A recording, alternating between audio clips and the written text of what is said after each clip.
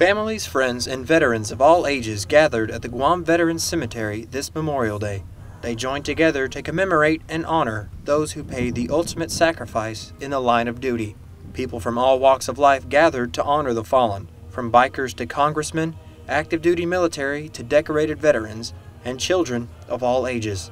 Among the crowd were many distinguished visitors, including the Honorable Edward B. Calvo, Governor of Guam. For everyone here, and everyone who is commemorating Memorial Day, there is a deep significance of this event. And there is solemnity in this event. Also in attendance were several veteran and motorcycle groups. They came bearing our nation's flag to remember those that were lost and what they stood for.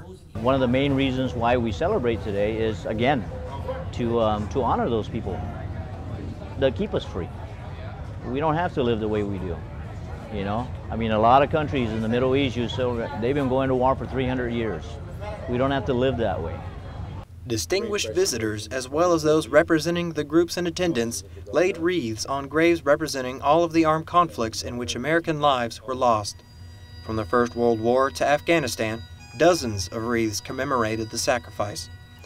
36th Wing Commander Brigadier General Andrew Toth explains just how important the ceremony is.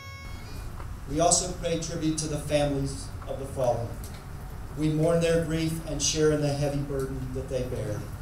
For these families, every day is Memorial Day. Reporting from Andersen Air Force Base, Guam, I'm Airman First Class Nathan Eckert.